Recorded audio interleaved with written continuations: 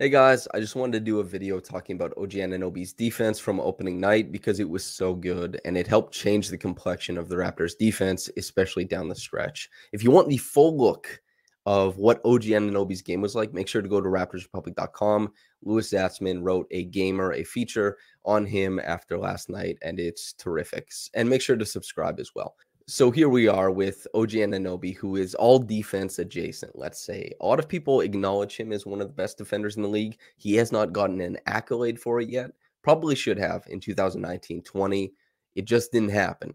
This is the level of defender we're talking about. Most times he's referred to as the best defender on the Raptors. And he was fantastic wearing a lot of different hats against the Cavaliers. And man, I think I'm pretty good at my job, but I, if I was as good at my job as OG is at his, I man, he he was so fantastic last night. So let's jump into it. Starting in the first quarter. So what we have is the Cavaliers trying to target an empty side pick and roll with Mobley and Garland. OG and Fred are on ball guarding this action. And OG tries to beat the outside because I think he's expecting Garland to go sideline, but he turns it back to the other side. Mobley flips that screen, and OG when the Raptors were playing drop a lot to start this game to keep their guys back at the rim, presumably to help with rebounding against Mobley and Allen, OG gets back around, beats him to the spot, and contests a shot. This ability, this court coverage, that is not only OG's, but Pascal's, but Scottie's, right? These types of plays are what started to make Garland really uncomfortable and set the tone for how he put five turnovers in 13 minutes and was, I believe, a minus 10 so that's that's great off the jump. The second play, we have OG jumping in to stop that flash cut from Dean Wade. As we saw during this game, Kevin Love made quite a few passes into the interior of the defense. OG recovering to stop that cut, very important. But additionally, the play kind of filters into the other side. Mobley gets the ball. He's isolated around the baseline, right? Around the block. And OG hangs out in that area, knowing that he can jump a pass if he tries to go cross court. He does and OG gets the steal. This, this that court coverage type of thing. These are long limbs getting in lanes. It's very, very important. This one, we get that early pickup, forcing the dribble so they can't run clock. And the Raptors switch every single position, every single player out of that corner DHO. Koloko looks really good here, by the way, forcing the pickup. Extremely well done. And OG, after that switch, after forcing, you know, the pickup at half court, getting back, switching on to Allen and being in the gap to make sure that that little over the top pass wasn't there. He could contest that and then contesting the rebound. All that stuff absolutely essential to the Raptors being switchable is that OG can go down and bang with Allen for a possession.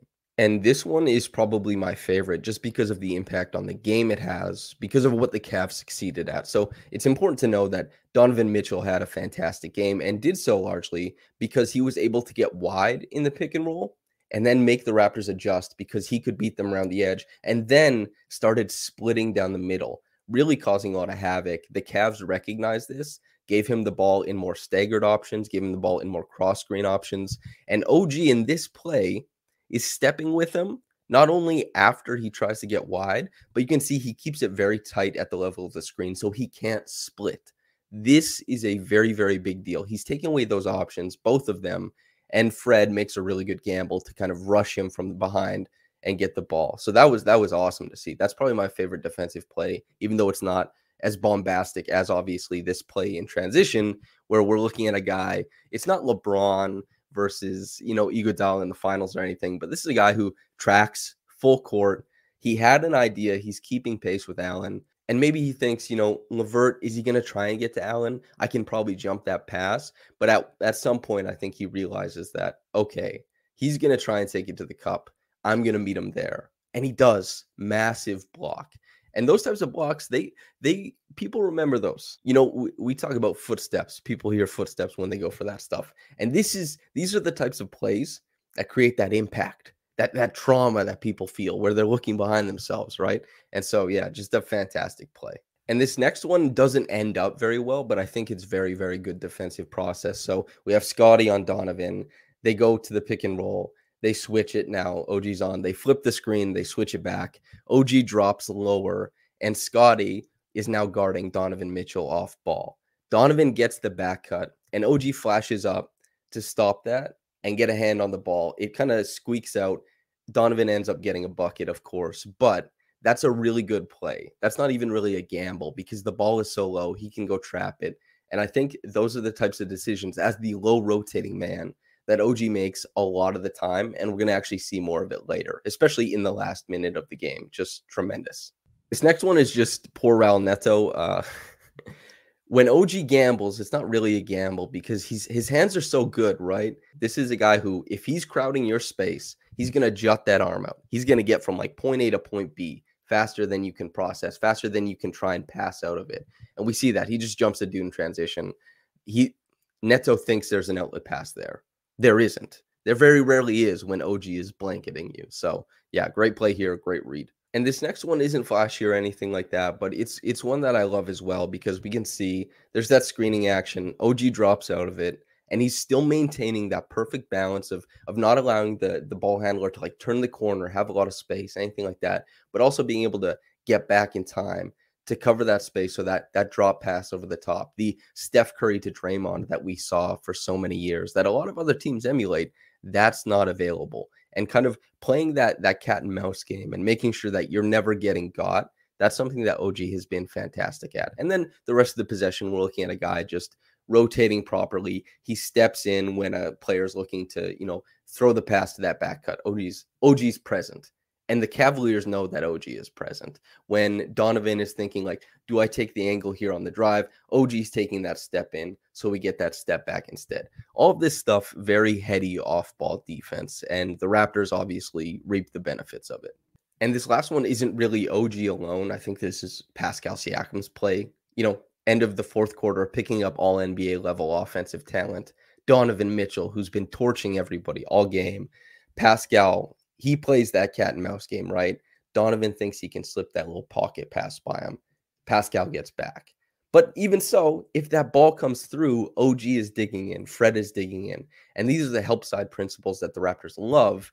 And based on how low that pass was, you think it probably would have gone well. And especially as we talked about with Raul Neto, Jarrett Allen isn't as small. But if OG is coming over to pressure you as you catch the ball or as you're trying to find a release valve to the corner or something like that, the odds of him deflecting it or getting a hand on something, very, very good. So another great read defensively.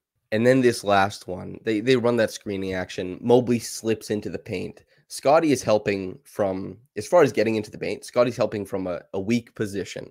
OG's lower. He's not the low man, but he's lower, a stronger position. And while Scottie doesn't get there in time, and once again, these are the help principles Raptors have throw everybody at the rim. OG gets there in time. Not only does he stonewall this play, and by the way, my apologies for the quality of this play. I NBA Advanced Stats, the the page, it had a gap in all the film and everything like that, so I couldn't pull it from there. So I I pulled it from Joe Wolfond's Twitter, and and Joe Wolfond is the best, by the way. But yeah, OG making that rotation, forcing Mobley to pick up that dribble. It ends up going out to Cedi Osman. They reset into kind of like a, a little pitch play, and Cedi gets that offensive foul on Fred that we saw at the end of the game. And that's that's OG Anunoby. There's more stuff that happened in this game, but these are standouts, right? These are he's involved in screening actions. These are he's providing great help defense, great at the point of attack. That's what you love to see from OG Anunoby. This is part and parcel of what he's been able to do as a Raptor. And uh, this is who he's going to be for a very long time. He's one of the best defenders in the league, and he really showed out last night. He was tremendous. It, it was an absolute treat to be in the arena, working that game, watching, and uh, the crowd was definitely amped for that kind of stuff too. So just wanted to focus in on OG, how awesome he was in this game, and uh, yeah, thanks for tuning in with me. Make sure to subscribe to Raptors Republic. Go to raptorsrepublic.com, subscribe the YouTube channel, subscribe. I've been Samson Folk. Thanks for kicking it with me, and uh, yeah, OG Anunoby. I'll see ya.